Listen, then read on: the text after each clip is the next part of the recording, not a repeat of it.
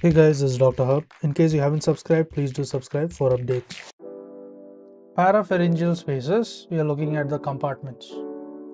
So there is a pre-styloid as well as the post-styloid segments.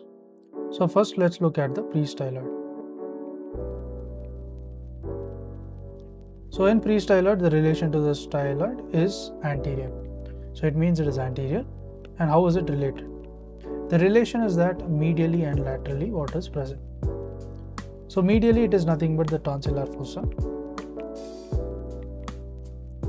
Next when you look at laterally it will be the medial pterygoid muscle. Medial pterygoid muscle. So medially it's the tonsillar fossa, laterally the medial pterygoid muscle. So here it is M and T, MT. So medial tonsillar fossa, lateral medial pterygoid muscle. Next is the contents. The contents of the pre-styloid is a medial pterygoid muscle. As we saw, in the lateral relation, medial pterygoid muscle is the content. Now, how does it present? So the presentation is, it there is a prolapse of the tonsil. So there will be prolapse, and the prolapse is of the tonsil. And next will be as well as the tonsillar fossa. There will be spasm of the medial pterygoid muscle leading to the trismus. There is spasm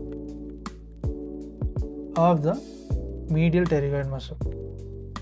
Medial pterygoid. Spasm of the medial pterygoid muscle. And this will lead to the trismus.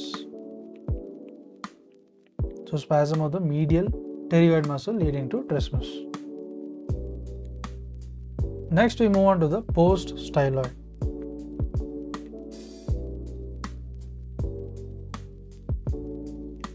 So post-styloid, the relation to the styloid is going to be posterior. So it is posterior. So relation is again we have medial relation and the lateral relation. Medially it is posterior part of the lateral pharyngeal wall.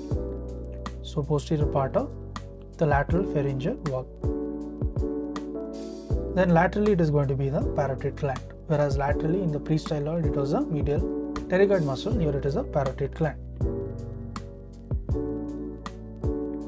So what are the contents with respect to the this post-styloid? So the content is there is the presence of the carotid artery. So there's presence of carotid artery. Next is there's presence of the jugular vein. So there's carotid artery, there's jugular vein, there is 9th cranial nerve, 10th cranial nerve, there is 11th as well as 12th cranial nerve. Next is there is presence of the sympathetic trunk. Now how is the presentation? The presentation if you see there is the pharynx which is bulging behind the posterior pillar. So the pharynx it bulge. So there is bulge of the pharynx and where is this bulge present? It is behind the posterior pillar. So behind the posterior pillar PP. Next is there can be injury to the as discussed the contents we saw. So there can be injury of those nerves that is injury to that of the 9, 10, the 11 as well as the 12 and this leads to the vocal cord paralysis. Then comes we look at the sympathetic chain injury. So SC injury. The sympathetic chain injury leads to the Horner syndrome.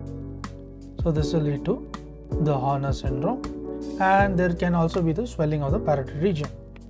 So there may be swell of the parotid region.